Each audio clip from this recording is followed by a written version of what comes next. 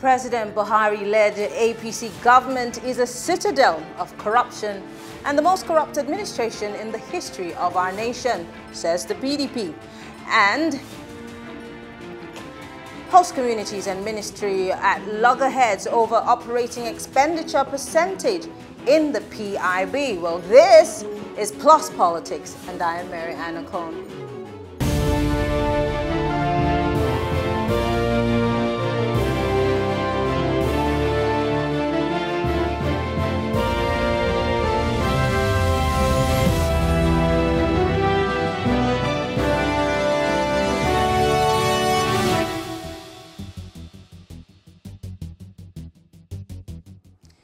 The PDP asserts that the Transparency Index uh, report, which shows Nigeria plunging to a potted 149th uh, on the Corruption Perception Index in 2020, is an incontrovertible confirmation that Nigeria is more corrupt under President Buhari and the APC than it was in 2015. Now, when they took office, uh, this is when they took office in 2015. Now, joining us to have this conversation this evening, all from Abuja, uh, PDP member Daini Ayodele and APC member Kayode Sani Arewa. Thank you very much, gentlemen, for joining us. Uh, thank you. Good evening, and thank you for having me. All right, I, am going to start yeah. with the, the APC member. Uh, the PDP um, major, their major pull and drag on this particular issue is that the fact that Nigeria has dropped 13 places on the corruption index, making us 149th on the list of countries that are extremely corrupt. And this is because the president, uh, the APC-led Buhari government, apparently campaigned on corruption as one of its biggest leaps to get into power. Uh, and, and, and that's why the PDP is saying, under your watch, we were hoping that the issue of corruption would have been dealt with. So what does the APC have to say about this?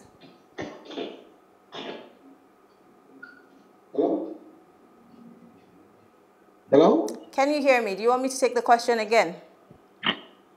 Yeah, we come back to the question. I couldn't hear you anyways.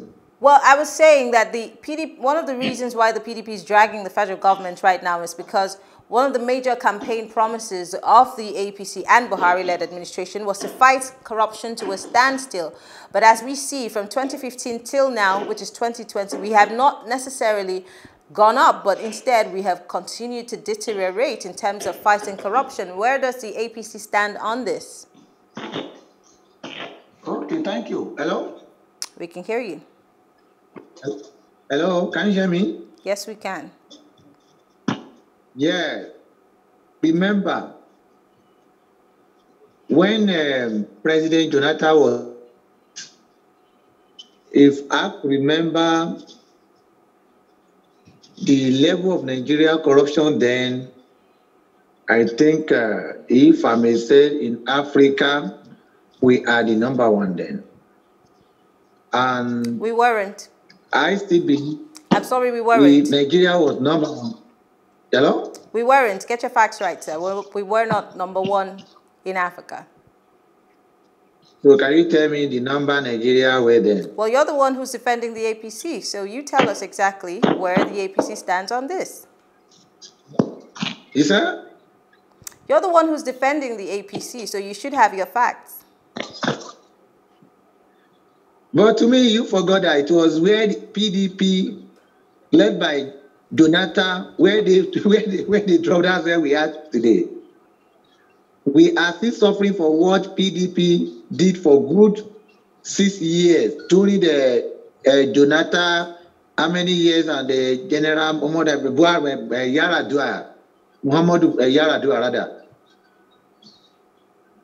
Hello. Okay, well, I'll move to my to to the PDP um, representative. Now, the PDP government um, was termed to be really, really corrupt, according to uh, the APC respondent here, saying that the country was brought to its knees, and that is why the APC government, five plus years down the line, are still referring to a Jonathan administration uh, as corrupt, and that's the reason why we have found ourselves at number 149 uh, the PDP is saying that the APC has not been able to change, even if they were corrupt in 2015, we're in 2021 and we're still talking about that same corruption, maybe even at a worse level. Um, please help me respond to uh, the APC man who's saying that corruption was um, rife under Jonathan and that's why we're still here. Yeah, um, you know, the problem with uh, the APC is the fact that they came into power through propaganda. You know, it's a party built on propaganda. They've lied to Nigerians. They've told them different lies.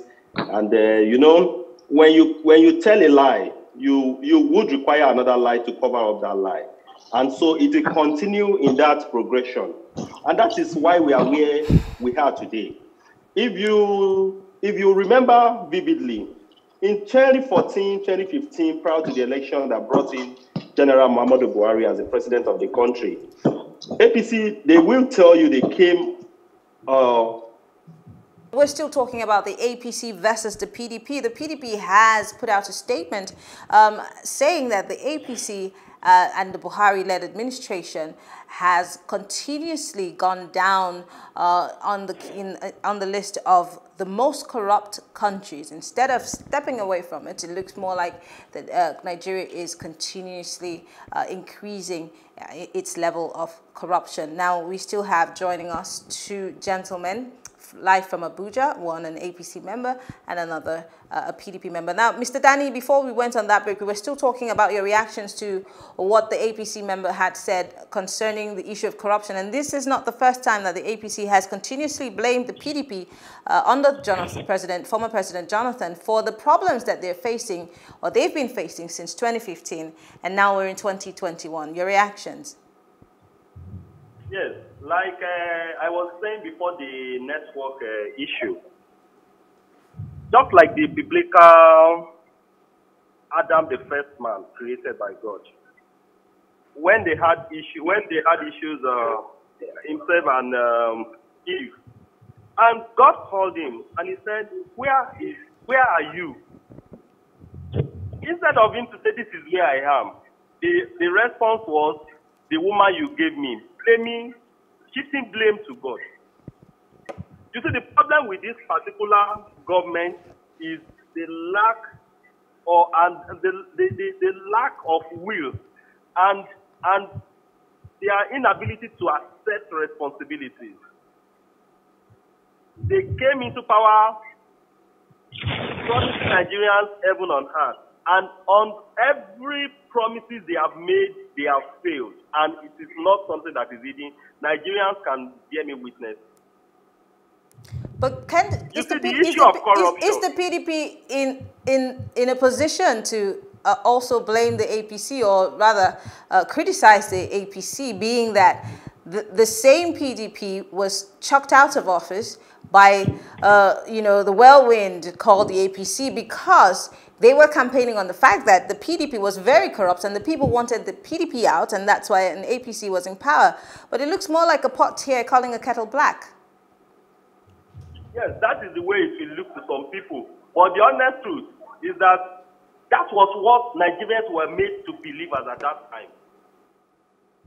They were made to believe that PDP was a corrupt party. And that is why if you look at PDP with the way we were coming through, since 1999. We have made a lot of progress before these people came on board, and they took us back to that Golgotha. And that is why we are we keep having issues. That is why we keep having problems. Because they will say one thing and the and the next thing they are doing the other. Please let me give you let me let me let me give you instances. You get? Now, they appointed Magu as the chairman of EFCC. The, the, the first corruption was the inability of General Buhari to replace Magu even when the National Assembly rejected his nomination on several occasions, citing an indictment by the, by the DSS, another organization under the presidency. That is on its own a high level corruption. So let, let, let me let me quickly, let, me, day- let me quickly go to Kayode because we do not have time. Kayode, um, the PDP is claiming that the APC-led administration has failed to go after leaders and cronies, uh, their cronies, um, who allegedly were involved in um, stealing of over 9.6 trillion naira that was detailed in a leaked NNPC report. We all remember when that report was leaked.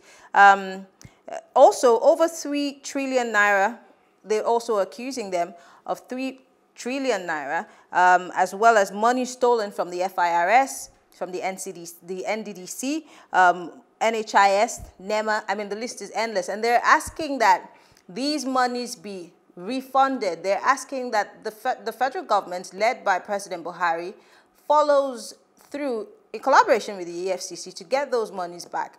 But they're saying that these monies will never come back because the APC is not necessarily fighting corruption. Do you see those monies coming back or these allegations even addressed in the first instance? Hello? Hello? Did you hear my question? Yes, let me. I'm going to ask your ask. Uh, I- I'm going to answer your question by asking the Mr. PDP this question. Number one, what happened to 1.2 1.2 billion for the during the Jonathan Buhari campaign to Dopesi? That's number one. Number two, what happened to the money um, the former PDP spokesperson, uh, Olisametu? What happened to the money? Let me answer the question before I proceed. Well, I asked you the question, and I'm going to ask you again. These want you to allegations. uh, answer- just hold on. Just hold on. Just hold on. I will let you have the mic. These allegations for, I mean, the PDP. I'm going to. I'm not in any way standing in for them. He's going to speak for the PDP. But this, this is a government that said they were going to have zero tolerance for any form of corruption, whether it be systematic. Um, fraud, uh, systematic corruption, and whether it be for leaders, ministers, whatever it is, financial or not. This is a government that actually did campaign on zero tolerance for corruption. So I think that it would be right for you to answer that question before you ask him your own question. Don't you think so?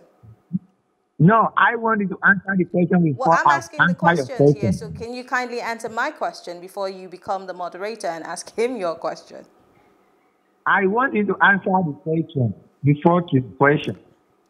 Well, let's move on. Let's move on. Mr. Daini. Okay? Yes, I'm here. Yeah. You see, um, when people lack facts, they, they continue to blab around.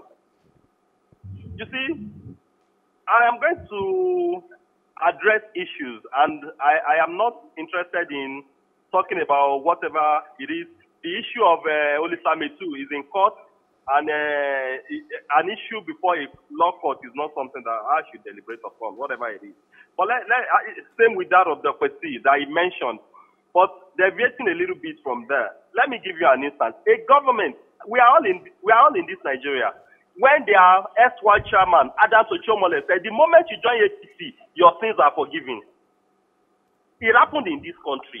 What are those things? The moment a thief cross over to PDP, uh, to APC, the, the story has changed. And I will give you instances. Look at what is happening presently. What, what happened? No, last year, in, uh, uh, uh, during the um, House of Representatives um, probe into the NDDC Committee hearing, issues. yes. Yeah. Akpabio was alleged. People who, who, who alleged him, they confronted him. That man, that guy, is still in office till date. That is a president that is saying that he's fighting corruption. How do you expect the, the Transparency International to, to, to, to, to, evaluate him? But in Akpabio's defense, there, were also evaluate him? fingers that were pointed to members who were benefiting from the same thing that Akpabio was being accused of. You said what? In Akpabio's defense, he also did finger some members of the Senate or the National Assembly who were involved or What- benefiting what- what- from whatever that it crime. is, the ideal thing should have been that Akpabio should have been asked to step aside while an investigation into the allegations is being activated. You don't leave such a man in that office. Have access to the files and documents. Why, why, why, why, have you had any other thing about that case in, in the last few months? Unfortunately, no. So this is this is this is this is their style. You understand? The moment they, they, they you know, you see, they, they, are very they are very clever in doing something. And, and I'm sorry to, to, to, to drift away a little bit from the topic. President Jonathan had, had, had almost finished the rail, the rail line between Abuja and Kaduna before Buhari came into power. Buhari came into power, and as a matter of fact, it was even commissioned before he left. A few months after Buhari came into office, they, they went back to commission the same rail, railway, claiming that they have, they have they, they've done railway within two months. So these are people that when something is okay, they want to take the glory, even when it is very glaring that they were not the architect of such. But the moment they have problems, and that is why Buhari keeps blaming everybody but himself. Okay, let me he come has, back. Let he me, has blamed let, everybody who has been president since 1999. He has blamed President Obasanjo. He has blamed the late President Umaru Yaradua. He's still blaming President Jonathan. So for how long is he going to sit tight? He's been elected to be president to to to, to clean the messes. All right, not to let, let me, blame. Let me go back to Kayode quickly. Um, Kayode, the APC government has laid claims to the fact that they have technically won the war uh, over insurgency, uh, but you know what has been dominating our headlines lately, which is the matter of insecurity. And like I always say, if you point on a map of Nigeria, wherever your finger faces, there is one form of insecurity or the other happening, and I'm talking about kidnapping to cultism and clashes, um, uh, you know, ethnic crisis or border, um, you know, problems. You have herders, you have cattle rustlers. I mean, name it. And of course, you still have Boko Haram, who still, you know, they might not have as many territories as they used to have, but they are still doing what they're doing in the northeast of the country. So can the APC really say that they have fought or won the war against terrorism and insecurity technically.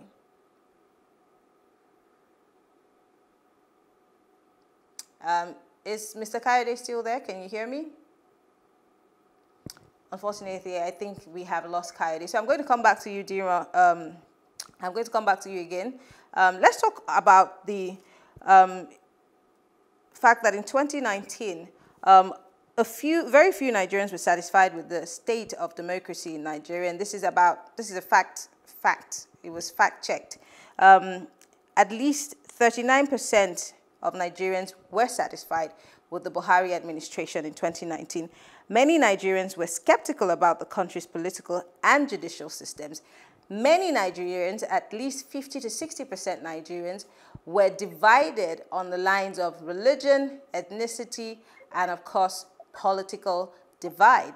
And this is a fact that, you know, was brought to the, the, the attention of Nigerians.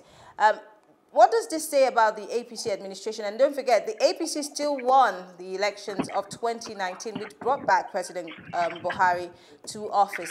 Taking this assessment of the APC-led government, where do you stand? Sorry, is that question for me or Mr. Kaldi? No, no, Kayode is off, so we're still continuing this conversation with you.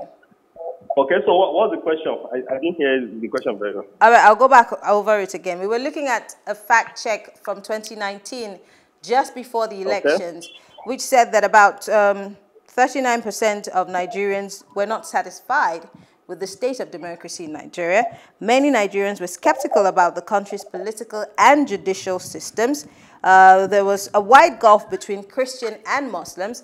There was an ethnic bias that divided uh, many Nigerians, and of course, we were also divided along uh, political lines more than ever. What does this say about, and let's not forget, the icing on the cake is that President Buhari still won the elections and came back into office. Uh, and that, that fact check makes it look more like there were still a few people who still liked President Buhari and still got him back into office, as opposed to how Nigerians felt about his leadership.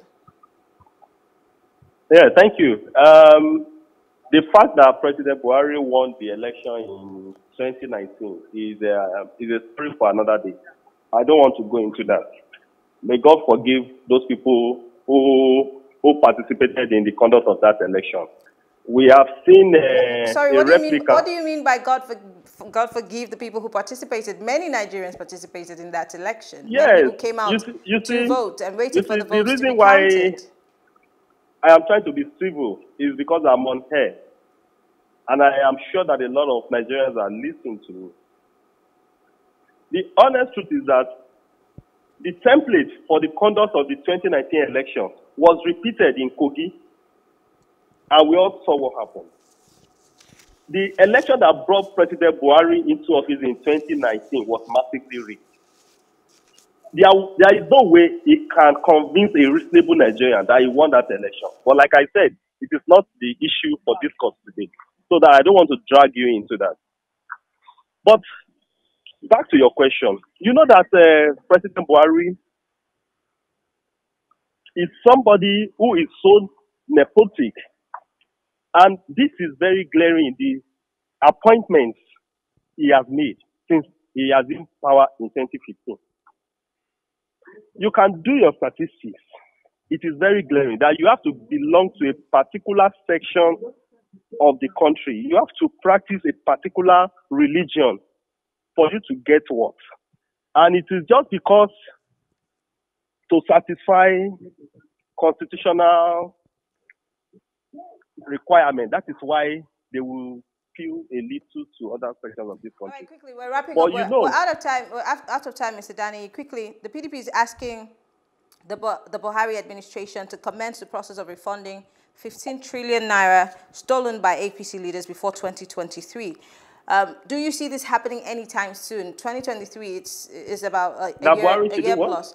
They're asking the president to fast track the return of 15 trillion naira that was stolen allegedly by APC leaders before the 2023 elections. They're saying these monies My have to be returned to Let us be honest with ourselves. The same Buhari said Abacha never stole money. But today is the one collecting the loot Abacha, uh, Abacha loot. You understand what I'm saying? It's the same person. See, this is a man who would say something and he will do the opposite of it. Nigerians are wiser, and by now we should stop. See, when Professor Wole Soyinka said he, for his own sanity's sake, he will, he will, he will pretend that if this regime doesn't exist. That is the way every reasonable Nigerian should think at the moment. So in other words, you're saying that it's not possible, those monies will not be returned, yes or no? It will not. Even if they even if they get those money back, it will end up in private pockets. Okay. Well, thank you very much. Daini Ayodele is a member of the People's Democratic Party joining us live from Abuja. Unfortunately, Kayode dropped off the call while the conversation was heated. Uh, we'll take a short break, and when we come back, we'll be talking about the fist cuff that happened at the floor of the Senate yesterday, as, of course, host communities insist nothing short of the 10% of operating expenditure they're demanding and they're asking that that's the only thing that will be acceptable instead of the proposed 2.5%, which is grossly inadequate to provide basic social amenities. We'll be right back to talk on it. Stay with us.